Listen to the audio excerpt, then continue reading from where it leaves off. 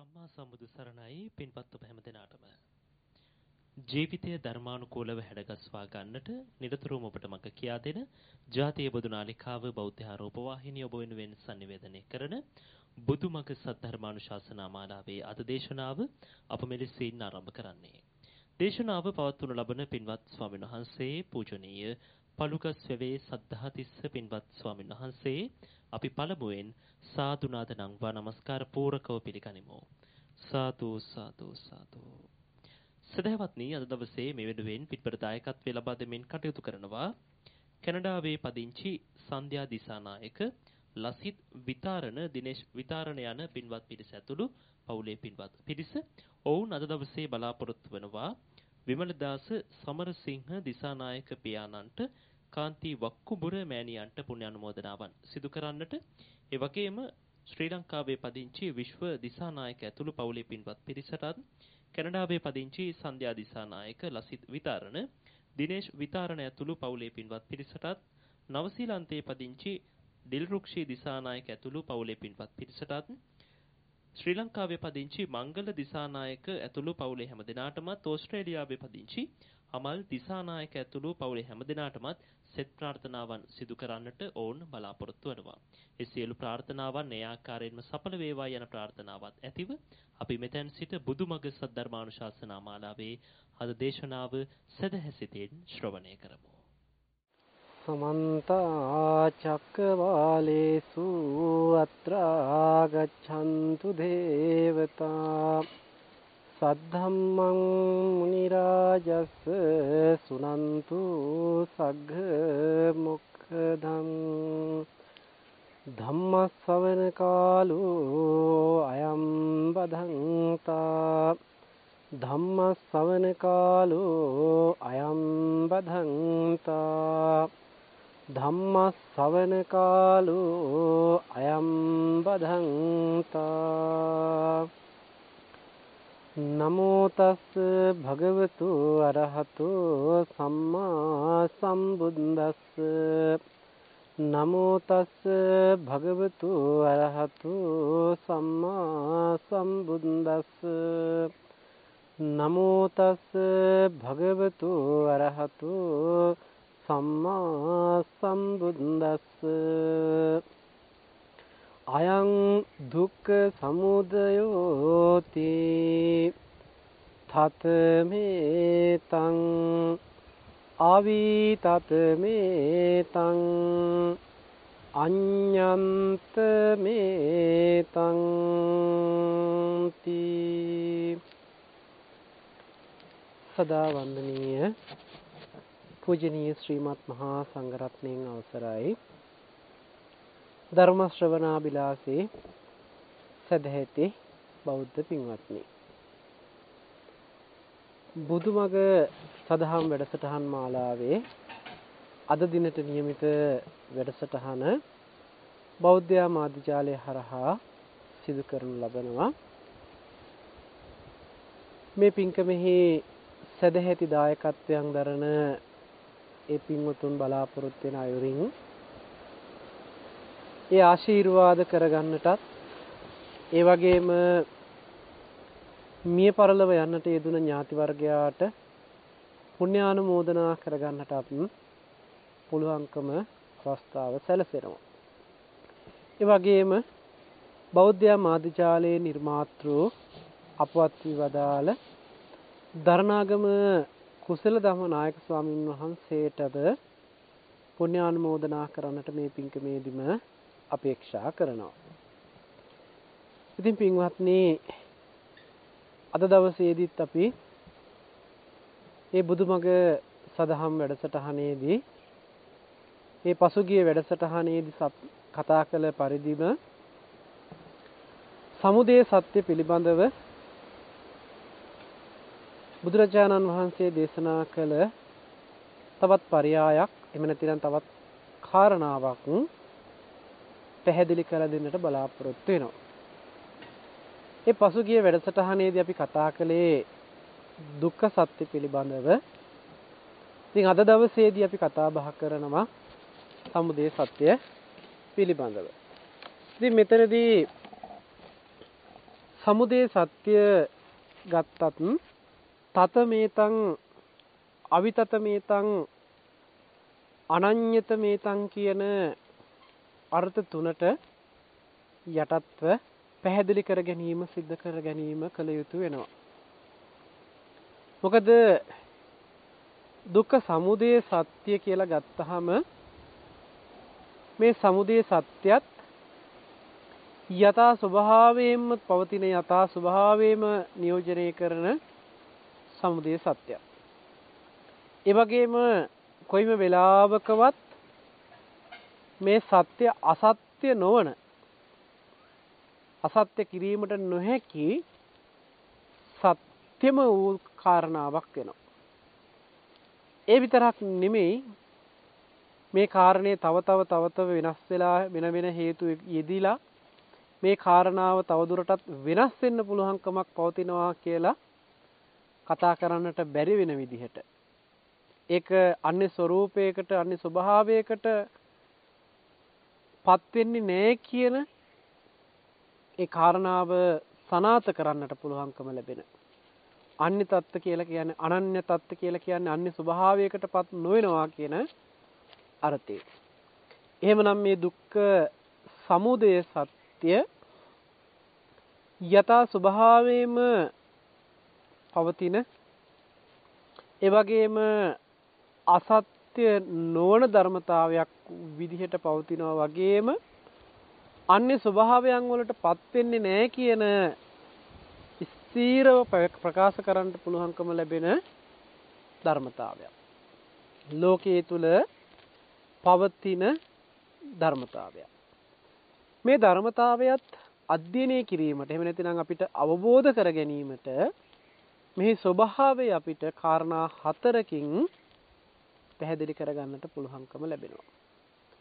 ඒ තමයි ආයෝහන ලක්ෂණයත් ඒ වගේම නිදාන ලක්ෂණයත් ඒ වගේම සංයෝග වෙන ලක්ෂණයත් ඒ වගේම පලිබෝධ කියන ලක්ෂණයත් කියන කාරණා හතරෙන් මේ සමුදය සත්‍ය දුක්ඛ සමුදය සත්‍ය අපිට අවබෝධ කරගන්නට පුළුවන්කම ලැබෙනවා.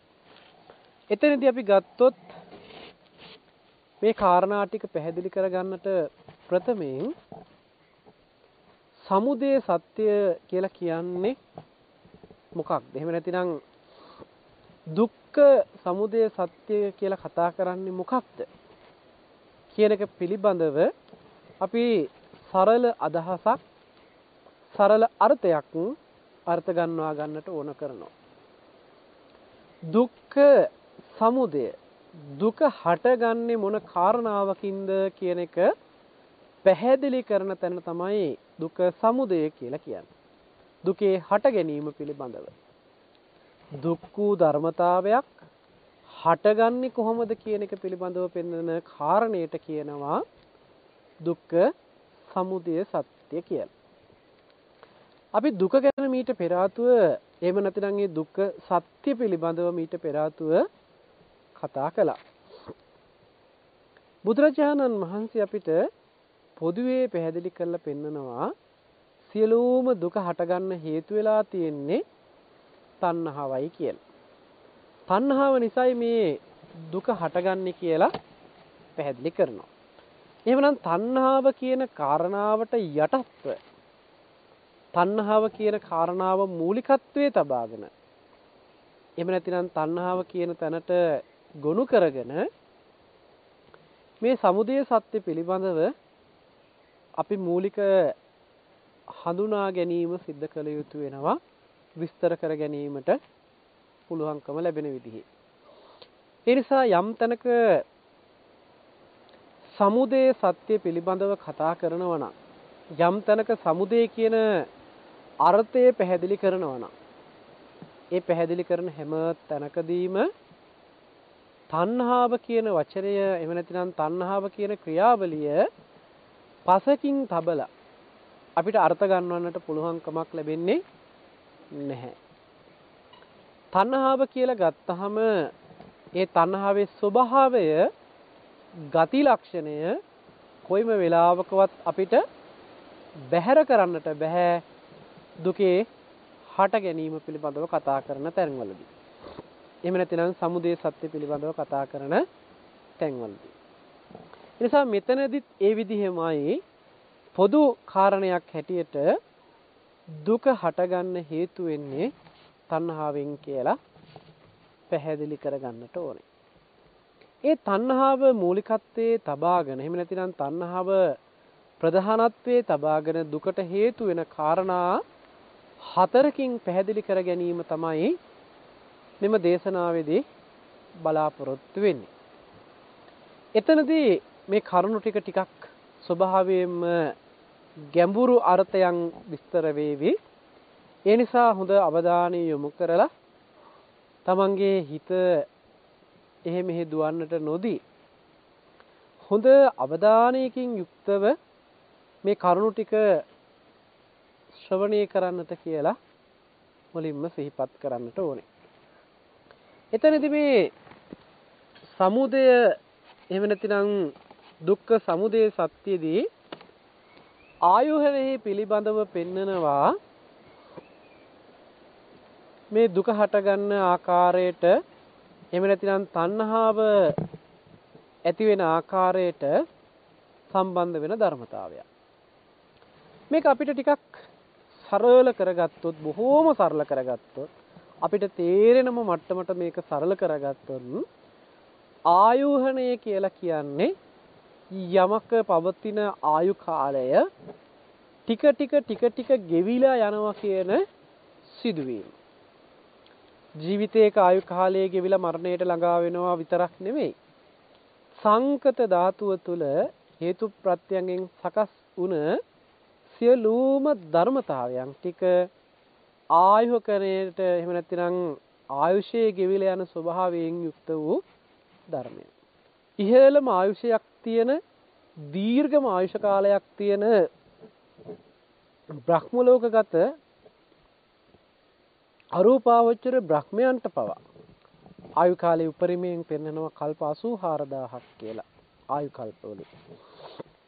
ඒ ආයුෂය අවුරුදු එහෙම නැතිනම් කල්ප 84000ක් දක්වා දීර්ඝ වුණත් කල්පයෙන් කල්පයේ ගෙවිලා ගෙවිලා ගෙවිලා ගිහිල්ලා ආයුෂයේ ගෙවෙන තැනකට පත් වෙනවා. එහෙම ගෙවිලා ඉවර වෙනකොට එතනින් චුත වෙන්නට සිද්ධ වෙනවා. එහෙමනම් ආයුහන ලක්ෂණයකින් යුක්තයි ඒ ආයුහන ලක්ෂණය නිසා දුක හටගන්න හේතුවක් හැදෙනවා කියලා පැහැදිලි කරනවා. අපි එක ගත්තොත් අරූපාවචර බ්‍රහ්ම ලෝකගත ඒ බ්‍රහ්මයන්ට පවා තමන්ගේ ආයුෂ්‍ය කාලයේ ගෙවිලා ඉවර වෙනකොට දුකක් දැනෙන්න පටන් ගන්නවා. ඒ ධාන සුවය එහෙම නැතිනම් ඒ ප්‍රීතිය ඒ ධාන මට්ටම සැපවත් සැපයක් බවට පත් කරගෙන සුවයක් බවට පත් කරගෙන කටයුතු කළත් එතනද බුදුරජාණන් වහන්සේ සැපයි කියලා පනවන්නේ නැහැ සංකත ධාතුව ඇතුලේ. ඒ පනවන්නේ නැති වෙන්න හේතුව තමයි එතනත් මෙන්න මේ කියන දුක් වූ ස්වභාවයට පත් කරන්න තියෙන හේතුව සකස් වෙලා තියෙනවා. ඕක අපේ ජීවිතේට බොහොම සමීප කරලා ගත්තොත් අපි හිතමු එදිනෙදා ගෙදර දොරේ භාවිතා කරන යම් උපකරණයක් වේවා. යම් ද්‍රව්‍යයක් වේවා. යම් බඩු බාහිර ආදිය වේවා. අපි භාවිතා කරනකොට මේවා ටිකෙන් ටික ගෙවිලා ඒ වගේම මේ වගේ ස්වභාවය ටික ටික දිරලා ඒව භාවිතා කරන්න පුළුවන් කාල සීමාව කෙටි වෙලා භාවිතයට ගන්න බැරි තැනට විනාශ වෙන තැනට පත් වෙනවා. අපි බලන්න හොඳට හිතලා සමහර දේවල් අපි හිතාගෙන ඉන්න අපේ ජීවිත කාලයම භාවිතා කරන්න පුළුවන් ඇති කියලා. ඒ නිසා අපි යමක් මිලදී ගන්නකොට යමක් පරිහරණය කරන්නට අවශ්‍ය දෙයක් ගන්නකොට ඒවා දීර්ඝ කාලයක් පවතිනවා කියන කාරණාවක් විශ්වාසයක් ඇතුව තමයි ඒ දේවල් අපි ගන්නෙ. හැබැයි ඒ කොච්චර අපි එහෙම ගත්තත් ඒවට යම් කාලයක් පවතිනවා කාල පරාසයක් පවතිනවා කාල වකවානුවක් තීරණය වෙනවා. ඒ කාල වකවානුවෙන් පස්සේ කාල පරාසයෙන් පස්සේ ඒ දේවල් නැවත පරිහරණය කරන්නට බැරි තත්ත්වයටද පත් වෙනවා. විනාශ වෙලා යන ස්වභාවයට පත් වෙනවා. අපි ගන්න ආහාර පාන ආදියට පවා අපි අද වෙළඳ පොලෙන් මිලදී ගන්න ඒ ආහාර පාන ආදියට පවා කල් ඉක්ුත් වීමේ දිනයක් සටහන් වෙලා තියෙනවා. මේ කාලයට පෙර ආතුව භාවිතා කිරීම වඩාත් සුදුසුයි කියලා. ඒ කියන්නේ ඒකටත් ආයු කාලයක් පෙන්ලා තියෙනවා. ඒකේ හොඳම මට්ටමේ පවතින්නේ මෙන්න මෙච්චර කාලයකටයි කියලා කාල නිර්ණයක් සිද්ධ කරලා තියෙනවා. එහෙමනම් මේ කාලයාගේ වෙනස් වීම නැතිනම් ආයුෂයාගේ ගෙවිල යන එක අපේ ජීවිතේට මේක තදින්ම දැනෙන ස්වභාවයකට පත් වෙනවා. තදින්ම අපේ ජීවිතයට බලපෑමක් ඇති කරනවා. ඒක අහේ ආයුෂය ගෙවිලා ඉවර වෙන්න පුළුවන්, කනේ ආයුෂය ගෙවිලා ඉවර වෙන්න පුළුවන්, නහයේ දිව ශරීරයේ ආයුෂය ගෙවිලා ඉවර වෙන්න පුළුවන්, මනසේ ආයුෂය ගෙවිලා ඉවර වෙන්න පුළුවන්. යම් සිද කරගත්තා වූ කුසල විපාක ගෙන දෙන කුසල කර්මයක කර්ම ශක්තිය ගෙවිලා ඉවර වෙන්න පුළුවන්. මේ විදිහට ගත්තහම මේ ආයුෂයේ ගෙවිලා ඉවර වෙන එක ස්වභාවයේ මුල් කරගෙන අපේ හිතට දුකක් හටගන්නට හේතු වෙනවා. අපි බලමු මේ කාරණාවත් එක්ක කොහොමද තණ්හාව කියන ක්‍රියාවලිය බලපවත්වන්නේ කියලා. ඔබ හොඳට හිතලා බලන්න ගෙදර දොරේ පරිහරණයට භාවිතයට අපි යම් උපකරණයක් මිලදී ගත්තනම් ඒ උපකරණයේ මුල්ම කාලවලදී බොහෝසේ පරිස්සම් කරනවා බොහෝසේ පිරිසුදු කරනවා බොහෝසේකව සුරක්ෂිත කරන්නට අපි උත්සාහවත් වෙනවා. කාලයගේ ඇවෑමෙන් මේකේ ස්වභාවය වෙනස් වෙලා ෂේ වෙලා ගිහිල්ලා විනාශ භාවයට පත් වෙනකොට අපි අර බොහොම පරිස්සම් සහිතව කටයුතු කරපු පරිහරණය කරපු මේ දේවල් පිළිබඳව ඒ ආකාරයෙන් දැඩිව කටයුතු කරන්නේ නැති වෙන්න පුළුවන්. ඒ දීර්ඝ කාලයක් භාවිතා කළා නම්. හැබැයි මේක බොහෝම ආසාවෙන් බොහෝම කැමැත්තෙන් පරිහරණය කරනව නම් පරිස්සම් කරනව නම් ඒ කාලය තුල අපි මේ කෙරෙහි දැඩි කැමැත්තක් ඇති කරගෙන තියෙනවා. ඒ කැමැත්ත දැඩිව පවත්වනවා. මෙන්න මේ කැමැති ස්වභාවයේ දැඩි වශයෙන් අරගෙන පවත්වන නිසාම තමයි අපිට මෙහි ආයුක්කනේ එහෙම නැත්නම් ආයුෂ ශේවීම පිළිබඳව අනවබෝධය නිසා මේකට යම් ආයුෂයක් තියෙනවා නම් ඒ ආයුෂය ඉවර වෙගෙන යනවා කියන කාරණාව පිළිබඳව අවබෝධයක් නොමැති නිසා අපිට ඒ කෙරෙහි තණ්හා ස්වභාවයකින් කරන ලද ගනුදෙනුවක් තියෙනවා. ඒ තමයි මේක මම මගේ කියන තැනකින් තමන්ගේ කියන ස්වභාවයෙන් මේ දේ පරිහරණය කරමින් අපි දුක හදා ගන්නවා.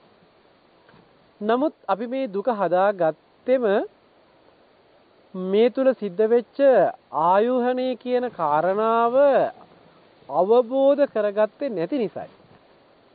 ආයෝහණය කියන කාරණාව ප්‍රකට වෙච්ච නිසා ඒක යම් පැවැත්මක් තියෙනවා නම් ඒ පැවැත්ම ටික ටික ගෙවිලා ගෙවිලා ඉවර වෙලා ඒ පැවැත්ම එහෙම නැතිනම් ඒ ස්වභාවය වෙනස් වෙලා ගිහිල්ලා පරිහරණය කරන්න බැරි තත්වයට පත් වෙනවා.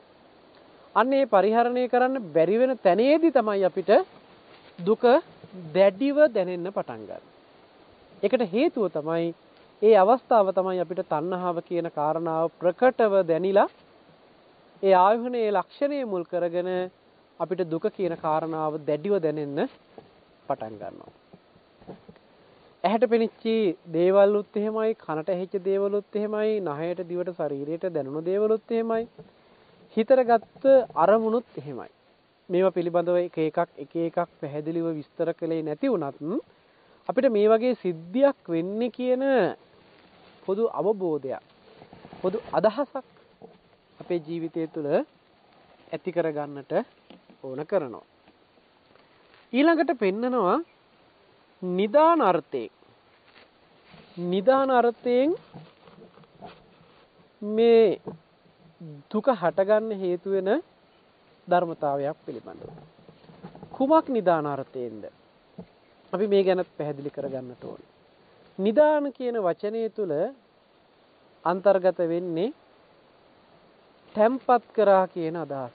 නිදන්ගත කළා කියලා කියන්නේ යමක් තැම්පත් කරා කියන අදහස. එහෙම නැතිනම් සුරක්ෂිත කළා කියන අදහස. එක්රැස් කරා කියන අදහස. අපි යමක් නිදන් කළොත් එහෙම නැතිනම් නිදාන කළොත් අපේ ජීවිතයේ මොනවද එහෙම තියෙන නිදාන? නිදාන වර්ග ගොඩාක් කතා කරනවා. නමුත් මෙතනදී කතා කරන්නේ දුක කියන කාරණාව හටගන්නට හේතු වෙන තණ්හාව පැත්තෙන් උපදව ගන්නට පුළුවන්කම ලැබෙන නිදානයන් පිළිබඳවයි. අපි ඇහෙන් යම් රූප දැකලා කනින් යම් ශබ්ද අහලා නහයෙන් දිවෙන් ශරීරයෙන් ගඳ සුවඳ රස ස්පර්ශයන් ලැබලා හිතේ හිතේ හිතේ නොයෙකුත් අරමුණු වලින් අරමුණු කරගෙන අපි ජීවිතේ ජීවත් කරනවා කියලා කියනවා. ඒ අතරේ අපිට ඇහෙන් දැකපු දේවල් ඉතුරු නැතුවම නිරුද්ධ වෙන සිද්ධියක් සිද්ධ වෙන තැනදී ඒ පිළිබඳව අනවබෝධය නිසා ඒ පිළිබඳව පැහැදිලි අවබෝධයක් නොතිබිච්ච නිසා එහෙම නැතිනම් අනවබෝධය නිසා අපි අපේ ජීවිතය තුළ ඇහැට පෙනුන රූපයන් පිළිබඳව අපේ හිතේ ඇති කරගත්ත සංකල්පනා ටික ඉක්කොතු කරනවා ඉතුරු කරනවා. නිදන් කරනවා දැන් මේ එකතු කරපු ඉතුරු කරපු මේ නිදන් ටික නිසා නැවත නැවත සිහි කරමින් ඒවට තණ්හා කරමින් බැඳෙමින් ඇති බවට ඉතුරු වෙමින් අපේ අපේ ජීවිතය තුළ තව තවත් දුක රැස් කරගන්නවා. අපි ඒක මෙහෙම තේරෙන විදිහට අර්ථයක් ගත්තොත් මං කන පිළිබඳව කතා කරන මාතෘකාවේ එහෙම නැත්නම් ඒ පිළිබඳව පැහැදිලි කරනකොට ඒ කාරණේ පෙන්වන්නම් අපි හිතමු අපිට කවුරු හරි පරුස වචනයෙන් ආමන්ත්‍රණය කරා බැන්න කියලා. කවුරු හරි කෙනෙක් අපිට තදින්ම බයිනවා. මේ තදින්ම බනින අවස්ථාවේ අපේ හිතට හොඳට මේ බැනපු සිදුවීම පිළිබඳව හොඳට අපේ හිතට අරමුණු වෙනවා. අපේ හිතේ හොඳට මේ අරමුණ තැම්පත් වෙනවා. නිදන් වෙනවා. මතක හිටිනවා. ආයි ආයි නැවත නැවත මේ සිහි කර කර සිහි කර කර අර බැනපු දේවල් පිළිබඳව නැවත නැවත මතක් කර කර අපේ හිත තව තවත් දූෂණය කරගන්නවා. අපේ හිත තව තවත් ඒ පිළිබඳව දුක් වෙනවා. කනගාටු වෙනවා. ද්වේෂයක් උපදව ගන්නවා. එහෙම වෙන්න හේතු උනේ අර අපිට එකපාරක් බැනපු සිදුවීම අපේ හිතේ හොඳට තැම්පත් කරගත්තා. නිදන් කළා. ඒ නිදන් කරපු නිසා ඒ නැවත නැවත නැවත නැවත මෙනෙහි කරමින් ඔසවමින් ඒව නැවත නැවත අපේ ජීවිතයට දුක උපදවන්නට හේතු සකස් කරගන්නවා. අපේ ජීවිතය තුළ නැවත නැවත දුක වැඩි කරන්නට ඒක උපකාර වෙනවා. එහෙමනම් ඔන්න ඒ දුක ඇති වෙන්නට තිබිච්ච එක හේතුවක් තමයි අපි මේ කනහරහා ආපු එහෙම නැතිනම් කනහරහා දැනුණ ශබ්දය. එහෙම නැතිනම් අපි හිතමු එකට අපිට පරුස වචනයෙන් දොස් කිව්ව කවුරු හරි කියන තැනකින් ගත්තාම ඒ ගත්ත දේ හිතේ හොඳට මතකේ තබාගෙන නිදාන් කරගෙන ඒක නැවත නැවත ආවර්ජනය කරමින් තව තවත් තව තවත් අපේ හිතේ දුක් පීඩාවන් ඇති කරවන්නට ඒක උපකාර කරගෙන තියෙනවා. එහෙනම් දුකට හේතු වෙච්ච කාරණයක් තමයි නිදන් කියලා කියන්නේ. නිදාන වශයෙන් කියලා කියන්නේ. ඒ විතරක් නෙමෙයි අපි ගත්තොත් නහයට දිවට ශරීරයට එහෙම නැත්නම් හිතට හිතේ හිතුන කාරණාවක් පිළිබඳව වෙන්න පුළුවන් ඇහැට පෙනුන දෙයක් පිළිබඳව වෙන්න පුළුවන් මේ විදිහේ යම් සිදුවීමක් අපේ හිතේ තවදුරටත් ඇති බවට මතකේ තබාගෙන තියෙනවා නම් නිදාන මට්ටමින් පවතිනවා නම් මේ ඇති බවට ඉතුරු කරන්නට හේතු උනේම එහෙම නැතිනම් තවත් විදිහකින් කතා කළොත් මේ භවයයි සකස් කරලා තියෙන්නේ. භවය ඇති කරවන්නට හේතු උනේම තණ්හාවයි. තණ්හාව ඇති වුනේම ඒ පිළිබඳව යථා ස්වභාවය හඳුනා නොගත්ත නිසායි. එහෙමනම් ඇත්ත ඇති හැටියට නොදැක්ක නිසා තණ්හාවෙන් යුක්තව ඒවා ඇති බවටම ඉතුරු කරගත්තාම ඒ ඉතුරු වෙච්ච බව තමයි අපිට නිදාන වශයෙන් ඉතුරු කරගෙන තියෙන්නේ. ඒ නිදන් වෙච්ච එහෙම නැතිනම් ඒ ඉතුරු වෙච්ච ස්වභාවය නැවත නැවත නැවත නැවත පරිශීලනය කරමින් සිහි කරමින් අරමුණු කරමින් තව තවත් අපි දුකෙන් දුකට පත් වෙනවා. දුක් ස්වභාවය වැඩි දියුණු කරගන්නට ඒ උපකාර කරගන්නවා. ඔන්න ওই විදිහට ඒ නිදාන ස්වરૂපයෙන් මේ දුක වැඩි කරගන්නට හේතු වෙන්නේ. ඊළඟට තිබෙනවා සංයෝජන අර්ථය. සංයෝජනය කියලා කියන්නේ බැඳෙන අර්ථය. යමකට බැඳෙනවා නම් ඇලිලා බැඳිලා වාසය කරනවා නම් මෙන්න මේ බැඳීමම අපිට දුකගෙන දෙන්නට හේතු වෙනවා. දෙමව්පියෝ දරුවෝ කෙරෙහි බැඳෙනවා, දරුවන් දෙමව්පියෝ කෙරෙහි බැඳෙනවා, ගුරුවරු ශිෂ්‍යයන් කෙරෙහි, ශිෂ්‍යයෝ ගුරුවරු කෙරෙහි ආදී මේ විදිහට සමාජය කෙනා කෙනා ඔවුනොවුන්ට යම් මට්ටමකින් ඕ බැඳී පවතිනවා. ඇහැට පෙනුන රූප වලට බැඳෙනවා, කනට ඇහෙනු ශබ්ද වලට බැඳෙනවා, නහයට දැනුන ගඳ සුවඳ වලට බැඳෙනවා, දිවයට දැනෙන රසයට බැඳෙනවා, කායික ස්පර්ශයට බැඳෙනවා. හිතට හිතට එන එන අරමුණු වල බැඳෙනවා. මේ විදිහට බැඳෙන තාක්කල් ඒ බැඳෙන ස්වභාවය අනුව බැඳෙන්න බැඳෙන්න අපේ හිතේ දුක කියන ස්වභාවය තව තව වර්ධනය වෙනවා. දුක කියන ස්වභාවය තව තව වර්ධනය වෙන්න හේතු වෙනවා. දුක උපදින්න හේතු වෙනවා. එහෙමනම් දුක ඇති වෙන්න එක හේතුවක් තමයි සංයෝජන අර්ථය. බැඳෙනවා කියන අර්ථය. යමක බැඳෙනවා කියන එකට කියන වචනයක් තමයි තණ්හාව කියලා කියන්නේ. තණ්හාවෙන් කියලා කියන්නේ කැමැත්තෙන් බැඳෙනවා. එහෙම නැත්නම් තණ්හා ස්වરૂපේම බැඳෙන ගතියෙන් යුක්තයි. එහෙමනම් අපි යමක බැඳෙනවා කියලා කියන තැනදි වෙනකොටම ඇලෙනවා කියන තැන වෙනකොටම ඒ තුල තණ්හාවේ කෘත්‍ය අන්තර්ගත වෙලා තියෙනවා. නිසා තණ්හාව නිසා දුක හටගන්නවා කියලා කිව්වහම මේ සංයෝජන අර්ථේනොත් සංයෝජන අට්ටේන සංයෝජන අර්ථේනොත් මේ බැඳීම කියන සිද්ධිය වෙලා තියෙනවා. එහෙමනම් ඒ තණ්හාවේ ක්‍රියාවලියක් විදිහට මේ බැඳෙනවා කියන ස්වභාවය බැඳිලා තියෙනවා කියන ස්වභාවය දුක උපද්දවන්නට හේතු වෙලා තියෙනවා.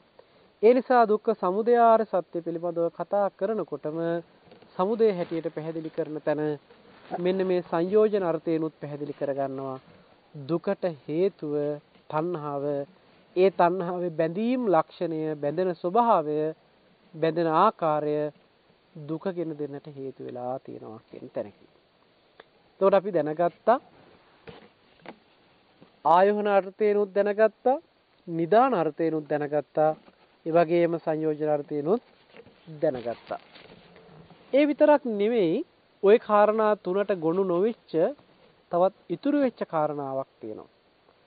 ඔය කාරණා තුනට ගොුණු නොවන තවත් දුක හටගන්න හේතුවෙන සිදුවීමක් තියෙනවා.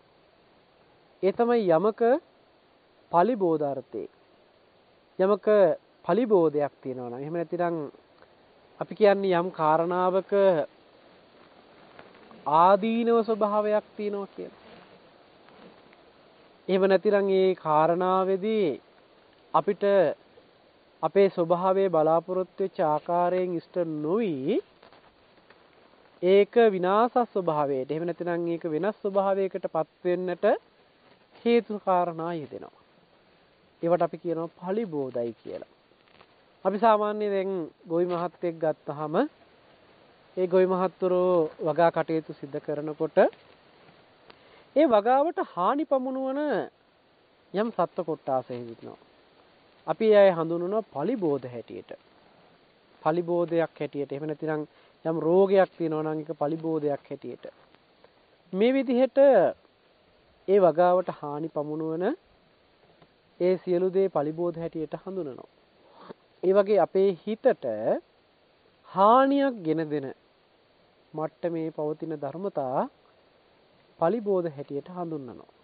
හඳුනා ගන්නට පුළුවන්කම තියෙනවා.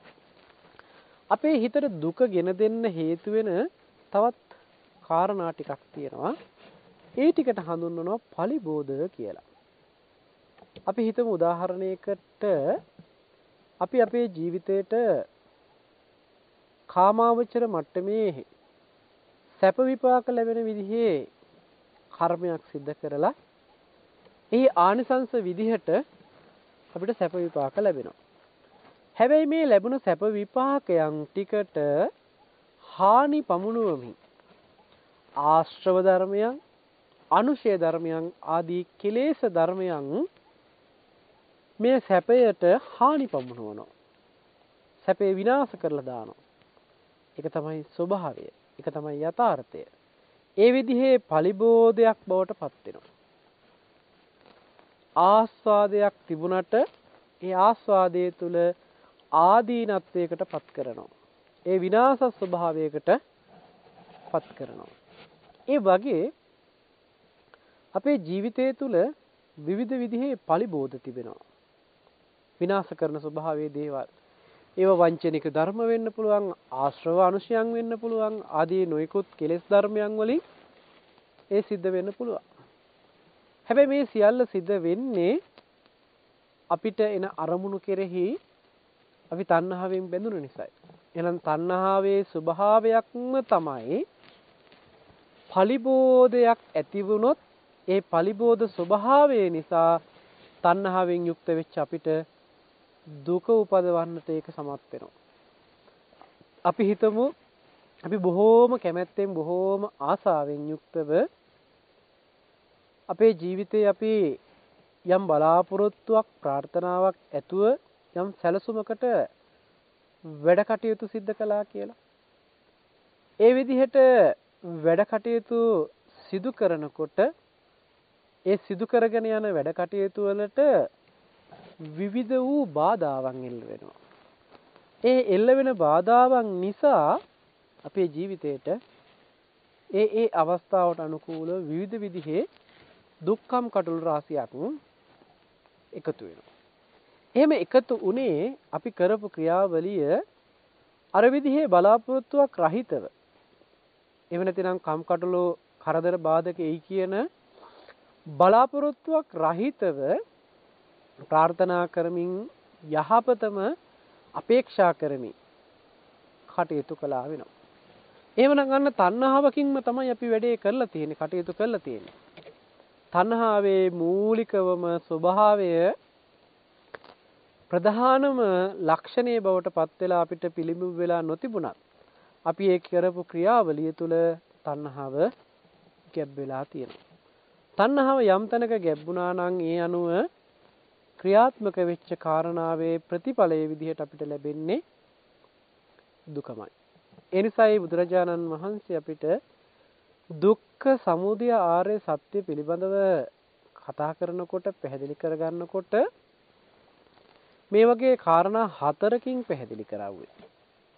ওই අවස්ථා හතරෙන් එක අවස්ථාවක හෝ අවස්ථා කීපයක් හෝ සිද්ධ වෙලා අපේ ජීවිතයට දුක කියන එක ළඟා වෙලා තියෙනවා. එතනදී ආයුෂය වීමෙන් ඒ වගේම යමක් තැම්පත් තැම්පත් කරපු එහෙම නැතිනම් නිදාන අර්ථයෙන් යමක බැඳෙන අර්ථයෙන් එහෙම නැතිනම් සංයෝජන අර්ථයෙන් ඒ වගේම යම් කාරණාවක ආදීන වර්තයෙන් එහෙම නැතිනම් පලිබෝධ අර්ථයෙන් අපි මේ දුකට හේතුව හඳුනා ගන්නට පුළුවන්කම ලැබෙනවා. ඒ කොයි ආකාරයකින් කටයුතු කළත් කොයි ආකාරයෙන් සිද්ධ වුණත් මේ සිදුවීම සිද්ධ වෙන්නට හේතු වෙච්ච ප්‍රධාන කාරණය තමයි තණ්හාව කියලා කියන්නේ. ඒ අනුව අපිට තණ්හාව නිසා දුක හට ගන්නවා කියලා කිව්වහම අපි එක සිදුවීමකින් විතරක් එහෙම නැත්නම් එක අර්ථයකින් විතරක් තණ්හාව පිළිබඳව අර්ථ ගන්නට එපා. තණ්හාව කියන අර්ථය තුල අපිට තණ්හාව කියන සිදුවීම ප්‍රකට වෙන්නේ පිළිඹු වෙන්නේ මෙන්න මේ ධර්මතා හතර ප්‍රධාන කරගෙන. ඒ තමයි අපි මේ මුලින් කතා කරපු විදිහටම ආයෝහන ලක්ෂණයෙන් ඒ කියන්නේ ආයුෂයේ ගෙවිලා ගෙවිලා යනකොට අපිට තේරෙනවා අපිට මේ දුකක් කියන සිදුවීමක් ඇති වෙලා තියෙන්නේ මෙන්න මේ සඳහා නේද කියන එක ප්‍රකට වෙන්න පටන් ගන්නවා ආයෝහණය හරහා අපිට දුක කියන එක පැහැදිලි වෙනකොට යමකගේ පැවැත්මේ කාල සීමාව ඉවර වේගන ඉවර වේගන එනකොට අපිට දුක කියන එක තදින්ම දැනෙන්න පටන් ගන්නවා. කවුරු හරි කෙනෙක් කිව්වොත් ඔබ තව ජීවත් වෙන්නේ තව පැය ගාණයි දින ගාණයි කියලා කිව්වොත් එහෙම ඔබකට ඔබේ ආයුෂය ගෙවිලා ඉවරයි. ආයුෂය ගෙවිගෙන ගෙවිගෙන දැන් අන්තිම කාලෙට ඇවිල්ලා තියෙන්නේ කියලා දැනෙනකොටම ඔබට ඒ පිළිබඳව හිතනකොටම ඔබට මහ විශාල දුකක් මානසිකව දැනෙන්න පුළුවන්කම තියෙනවා. ඒ දුකට හේතුව උනේ ආයුකනේ එහෙම නැතිනම් ආයුෂයේ ඉවර වීම පිළිබඳව වෙන සිදුවීමට. හැබැයි ආයුෂයේ ඉවර වෙනකොට කොහොමද ඔබට දුක ආවේ?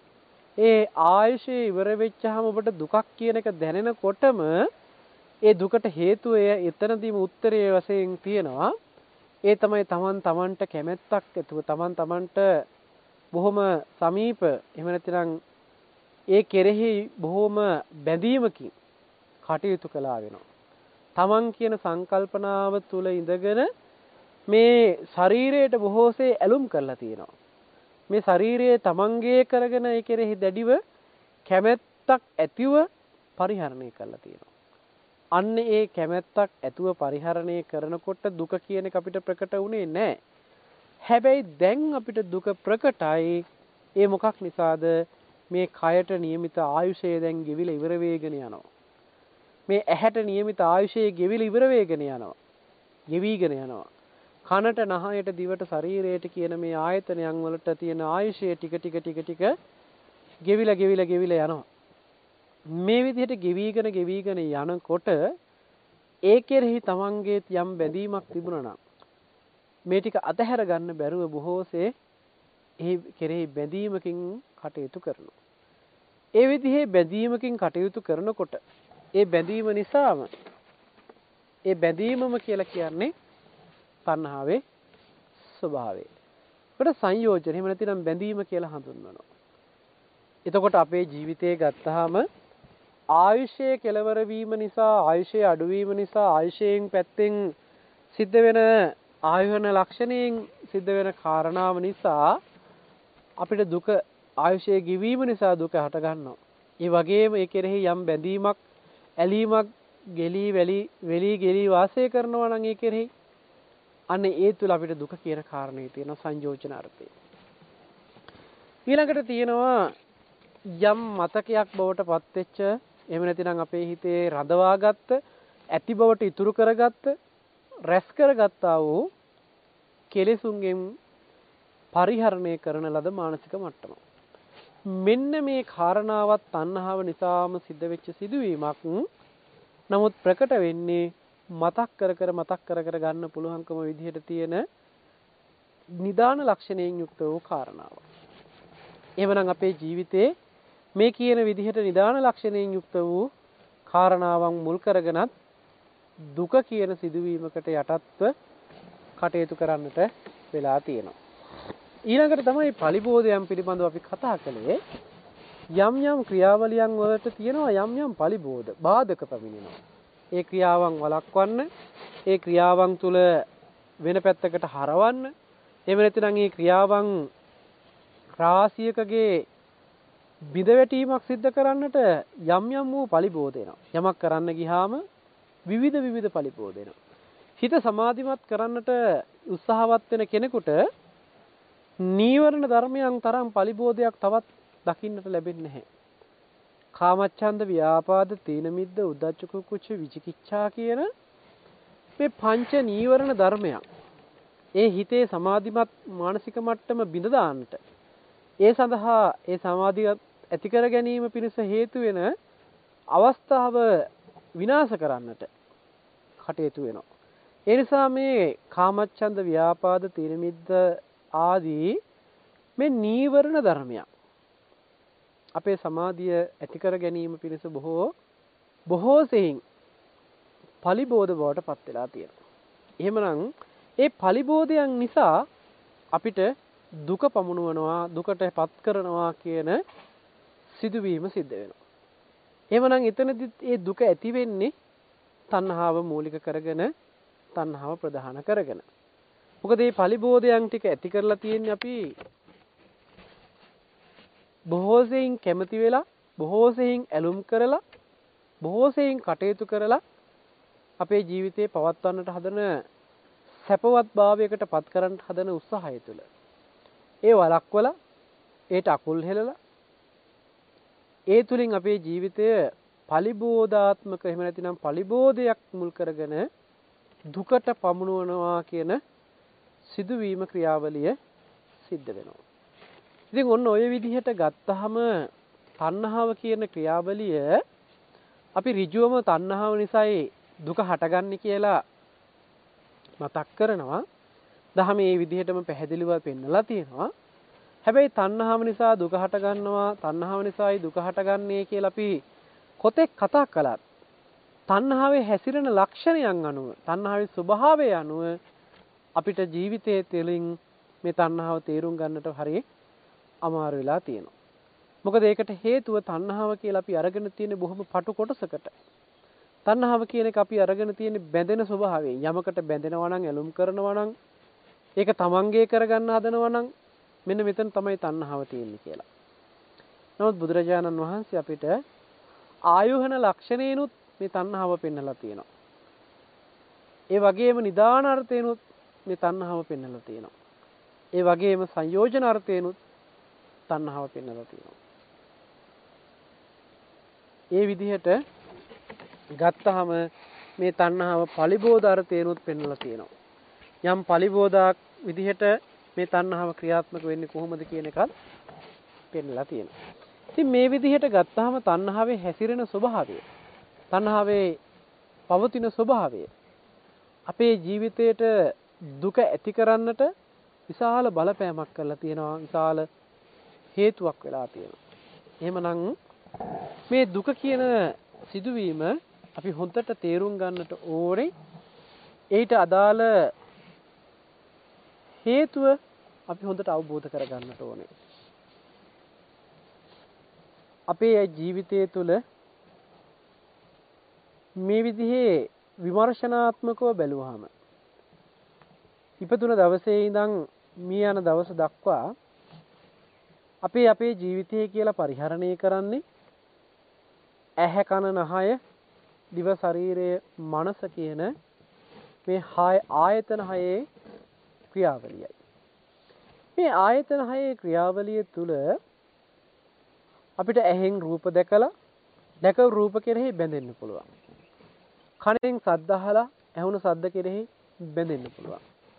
නහයට ගඳ සුවඳ දිවට රස කයට ස්පර්ශයන් දැනිලා ඒ කෙරෙහි හිතින් බැඳෙන්න පුළුවන්.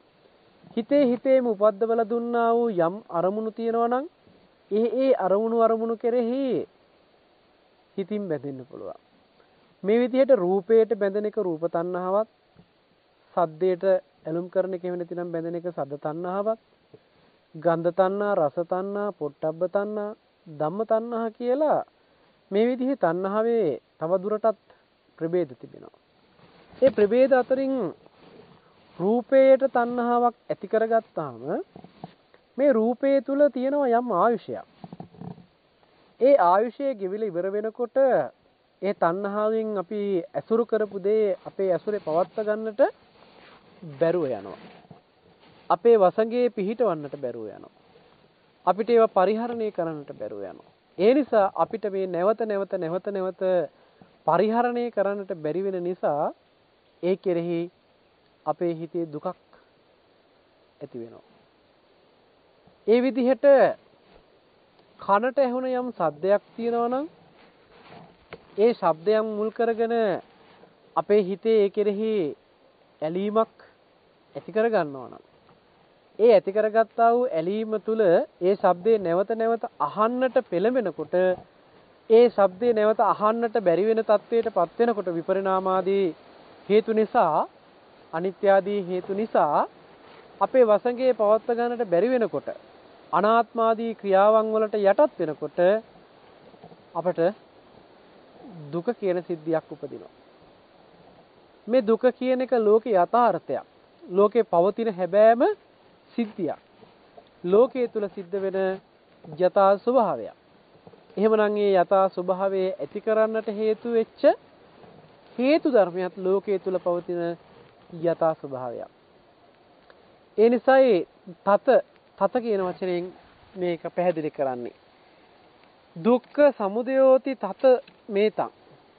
තථාකාරයෙන් එහෙම නැත්නම් යථාකාරයෙන් දුක ඇති වෙන්නට හේතු වෙච්ච මේ තණ්හාව මූලික වෙච්ච මේ සිදුවීම ලෝකයේ පවතින යථා ස්වභාවයක් කියලා පෙන්නනවා. ඊළඟට අවිතත අර්ථයෙන් පෙන්නනවා. අවිතත කියලා කියන්නේ සත්‍යම සත්‍ය කාරණාවක් බවට පත් වෙනවා. අසත්‍ය දෙයක් එහෙම නැතිනම් අසත්‍ය මට්ටමේ දෙයක් එතන පවතින්නේ නැහැ කියන තැනකින්. මේක ටිකක් අපි පැහැදිලි කරගත්තොත් අපි කිව්වොත් අපි සාමාන්‍යයෙන් කෙනෙක් අධ්‍යාපනය ලබනකොට ඒ අධ්‍යාපනය තුළ අපි හිතමු මේක කෙනෙකුට චෝදනාත්මකව කරන චෝදනාවක් නෙමෙයි මේක අපේ ජීවිතේ හමු වෙච්ච සිදුවීමක්.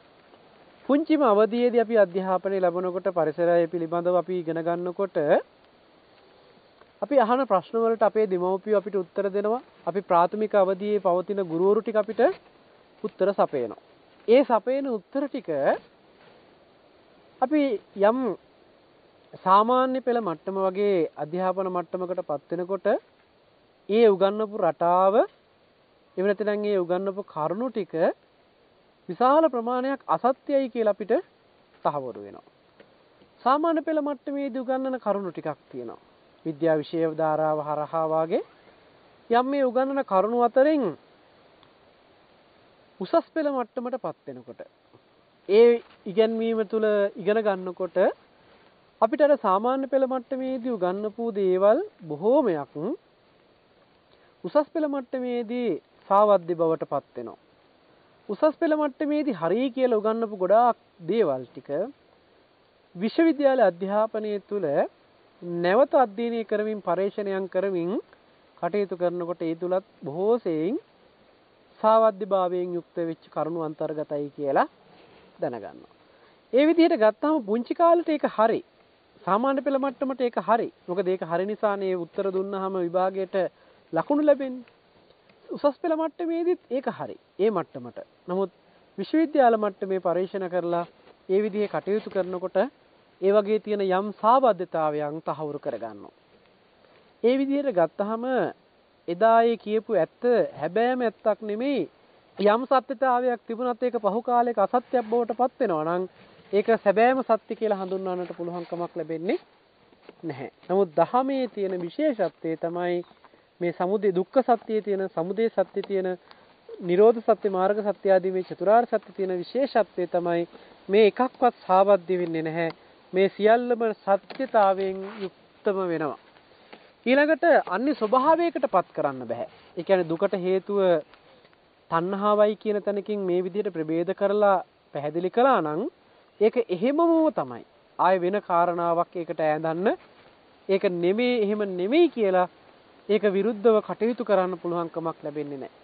ඒ නිසා මේ දුක්ඛ සමුදය ආර්ය සත්‍ය පිළිබඳව පැහැදිලි කරගත්තා වූ මේ දහම් කරුණු ටික අපේ ජීවිතය තුළින් යථාබෝධයේ පිණිස දැක ගැනීම පිණිස මේ අර්ථයන් බොහෝසෙයින් උපකාර වෙනවා. ඒ සඳහා මේ දේශනාව ඔබ හැමදෙනාටම උපනිශ්‍රේ වේවා කියන අදහසින් යුක්තව අදර දේශනාව මෙතකින් සමාප්ත කරනවා. ඉතින් සිද්ධ කරගන්නට යෙදුන අති උදාර පුණ්‍ය ශක්තිය කුසල ශක්තිය.